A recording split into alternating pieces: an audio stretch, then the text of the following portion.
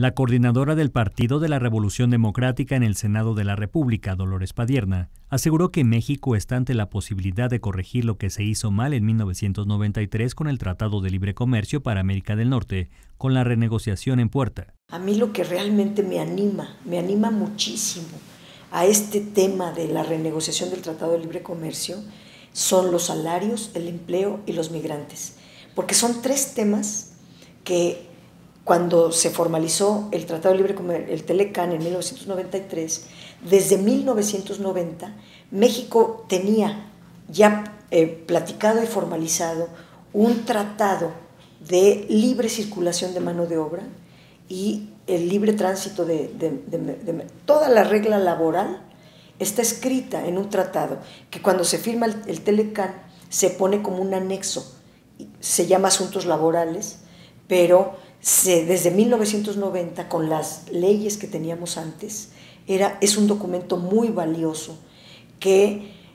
lo han ocultado en todos estos 23 años. Ahora en la renegociación nos podemos traer ese acuerdo firmado por México, Canadá y Estados Unidos que mejora las condiciones laborales de todos los trabajadores de los tres países. Dolores Padierna respaldó la postura del secretario de Economía, Ildefonso Guajardo, en el sentido de que se deben buscar mercados alternos para la importación de alimentos y de productos de la canasta básica, todo ello al margen de las negociaciones del Tratado de Libre Comercio o ante una eventual ruptura del acuerdo. ¿Qué puede pasar? En primer lugar, que nuestras mercancías que produce México, nuestro petróleo, nuestros alimentos, nuestro todo, tenemos una lista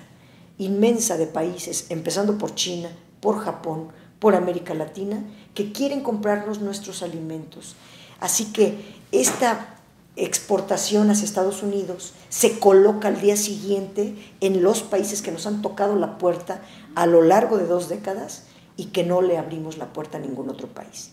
Si estamos importando gasolina, estamos importando muchos productos de Estados Unidos, ¿qué debemos hacer? Pues el multilateralismo, buscar en otros países lo que Estados Unidos ya no nos dé. Con información e imágenes de Luis Carlos Rodríguez, Notimex.